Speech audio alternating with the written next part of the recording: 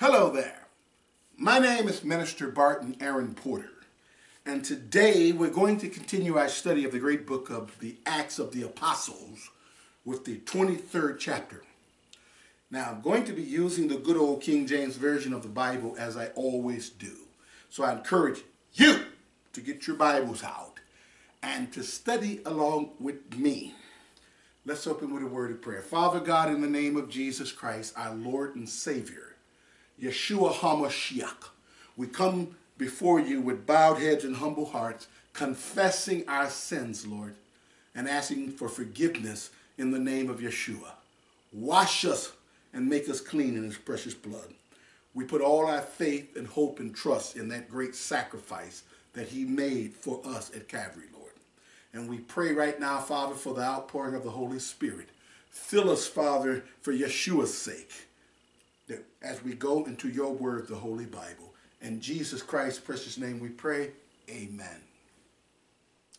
In our last Bible study, we saw in that 23rd chapter that after the chief captain found out that Paul was a Roman citizen, he started to treat him with a little respect because he was about to have him beaten, you know, you know, to find out what why the Jews wanted him dead. And uh, Paul used wisdom.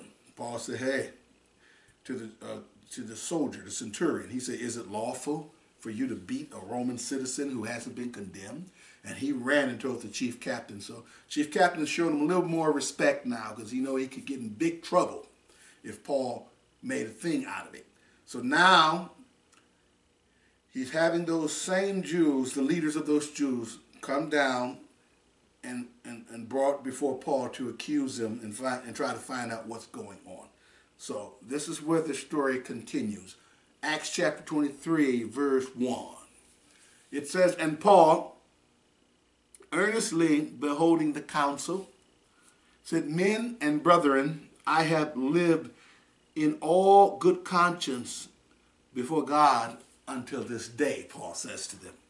Verse 2 And the high priest Ananias commanded them that stood by him to smite him on the mouth. So the high priest said, Slap him in his mouth. And they slapped him too. Pop! Verse 3 Then Paul said unto him, God shall smite thee. God's going to strike you, thou whited wall, you whited wall. For sittest thou to judge me after the law and commandest me to be smitten contrary to the law. He says, God's going to strike you down because you're sitting up there as a judge of the law and you having me smacked in the mouth against the law. Look what happens. Verse 4. And they that stood by say, Revileth thou God's high priest? They said, You're talking back to God's high priest? Verse 5. That was verse 4. Then Paul said, I wist not, which means I knew not, brethren. He said, I knew not, brothers, that he was a high priest. For it is written, Thou shalt not speak evil of the ruler of thy people. So this is one of the things we have in Scripture that proves that Paul's eyesight was never fully restored. And that's what he was referring to when he wrote in that letter in Corinthians about a thorn in his flesh. His eyesight was restored just good enough where he could see to function, but it was never fully restored because God didn't want him to get a big head, you know, to be ego tripping because the Lord took him up to heaven and he heard things that was not lawful for an ordinary human being to hear. I mean, to hear. And so that thorn was with him for the rest of his life. That's why when he got to jail and he was writing letters, a lot of times he would have a scribe, like a secretary. He would tell someone else what to write because he had bad eyesight. And if he did write something, the portion he wrote, he wrote in extremely large letters. Okay? So I told you I would back up that statement I made in the last Bible study video with this uh, Bible study video. So this is one of the ways we know Paul's thorn in the flesh was his eyesight. So he couldn't see that that was the high priest from where he was sitting. He looked like, you know, he was sitting off and he looked like a white wall. That's all he saw. And, he, and that's why he got, he said what he said. God's going to strike you, you white wall, for hitting me, have me hit in the mouth. And they said, you talking to the high priest like that? And he, then he apologized immediately. Let's move on. Verse 6 But when Paul perceived that the one part were Sadducees and the other Pharisees, he cried out in the council, Men and brethren, I, excuse me, Paul says, I am a Pharisee, the son of a Pharisee, of the hope and resurrection of the dead. I am called in question. So Paul's using little wisdom now. He says, We got the Pharisees and the Sadducees in here. And he said, I'm going to use this to my advantage. So he let them know he was a Pharisee. And then he said, um, the reason why he was there was because he was talking about the resurrection of the dead. Verse 7. And when he had and when he had so said, there arose a dissension between the Pharisees and the Sadducees, and the multitude, that means the crowd, was divided. Verse 8. For the Sadducees say that there is no resurrection, neither angel nor spirit.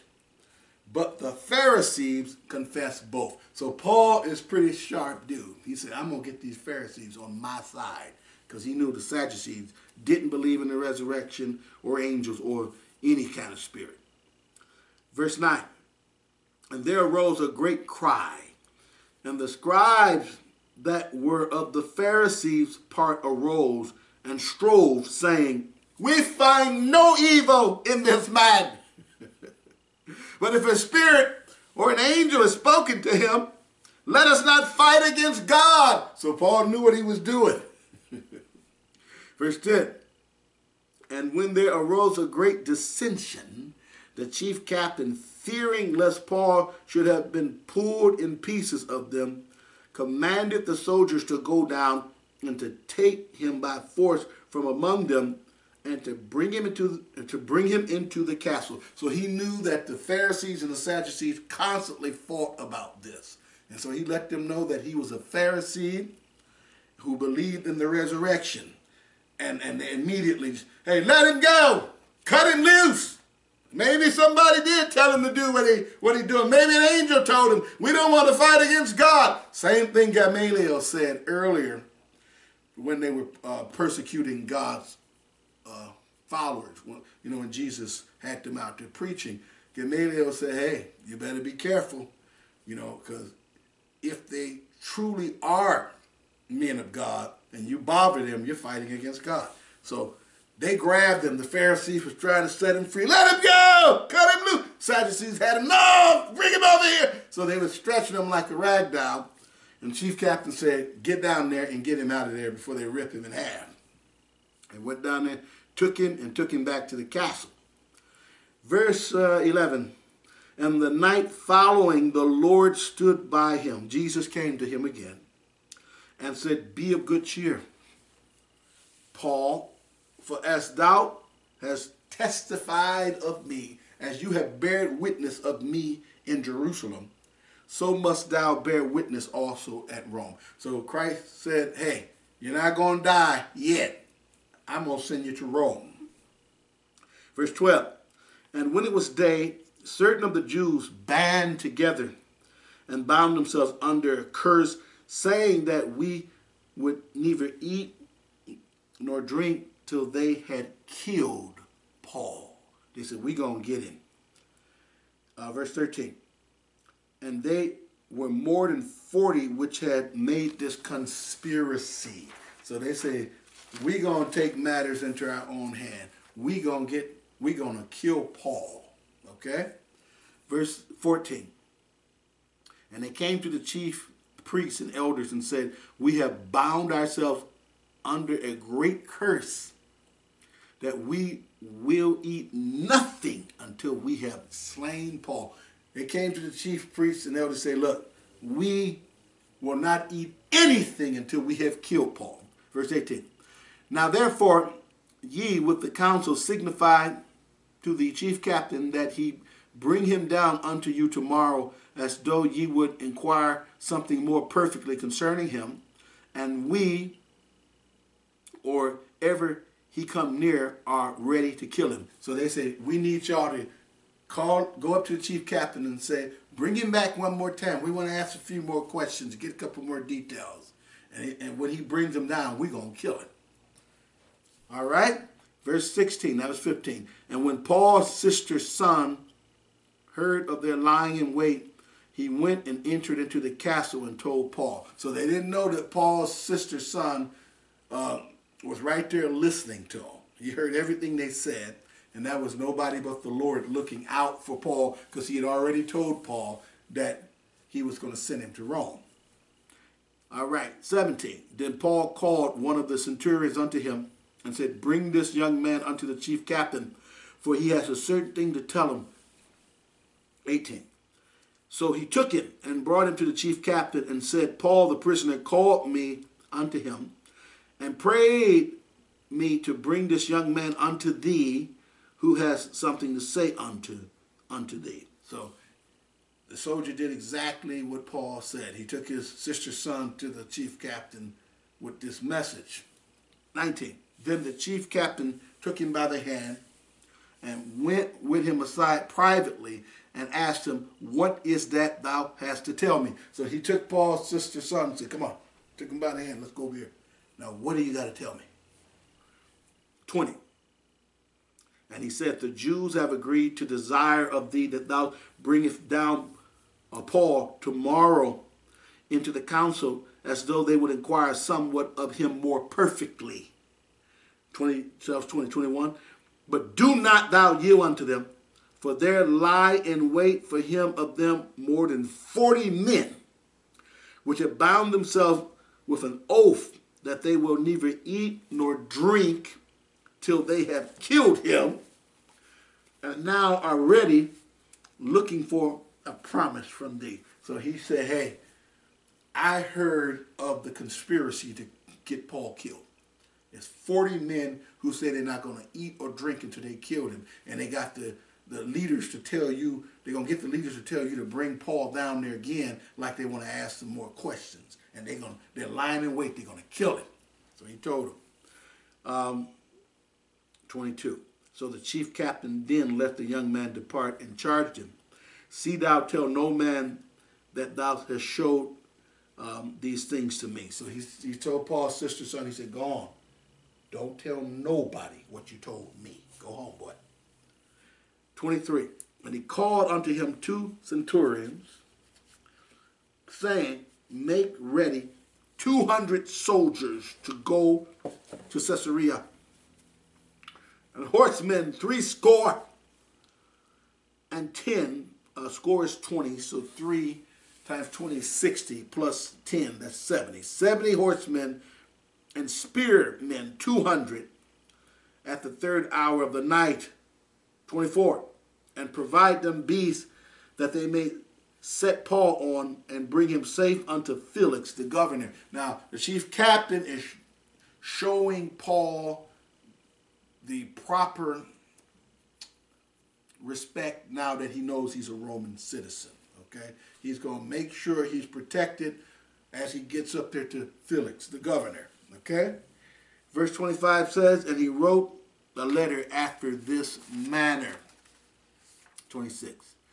Claudius Lysias, unto the most excellent governor Felix, Felix sendeth greeting. 27.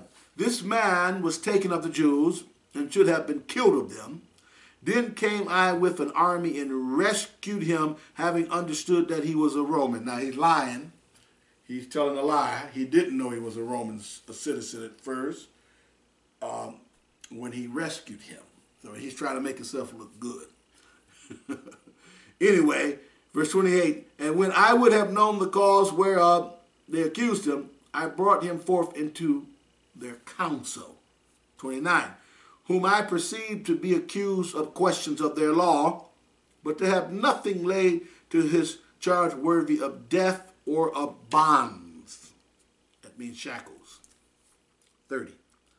And when it was told me how that the Jews lay, laid wait for the man, I sent straightway to thee and gave commandment to his accusers also to say before thee what they had against him farewell. So he wrote the letter to Felix and he sent Paul up there to the governor. He said, and that's that. It's out of my hands now. 31. Then the soldiers, as it was commanded them, took Paul and brought him by night to Antipatris. 32. On the morrow, they left the horsemen to go with him and returned to the castle. 33. Uh, who, when they came to Caesarea and delivered the epistle, which is a letter, to the governor, presented Paul also before him. So they carried out exactly what the chief captain told them. Took Paul up there, gave the letter to the governor. 34. And when the governor had read the letter, he asked of what province he was. And when he understood that he was of Cilicia, 35, he says, I will hear thee, said he, when thine accusers are also come and he commanded him to be kept in Herod's judgment hall. So he says, when those Jews who accuse you get up here, then I'm going to hear you. So he sent them over there to Herod's judgment um, judgment hall to be kept until they got up there. So if this particular Bible study has been a blessing to you, I encourage you to go to paypal.me slash Barton Porter and please make a financial contribution of any amount, whatever you can afford to give is a tremendous blessing to me in this ministry. And you will be helping me to continue to be able to produce these Bible studies and get the true teachings of our Father, the Son, and the Holy Spirit out. And if you like this particular shirt that I'm wearing, Jesus Christ died for us. I encourage you to go to my online t-shirt store at teespring.com slash store slash Godwear and check out some of the Godwear there. And if you see something that you like, buy it because when you buy any of my Godwear, be it a hoodie, a long sleeve, or coffee mug, you are getting something that I think you can use to spread the gospel with, but you're also blessing this ministry and my favorite charity, Feed My Starving Children. So, until next time, this is Minister Barton Aaron Porter saying, May the good Lord continue to bless you and keep you all the days of your life. And be sure not to miss the next Bible study when we go into the 24th chapter of this great book of the Acts of the Apostles. God bless you and goodbye.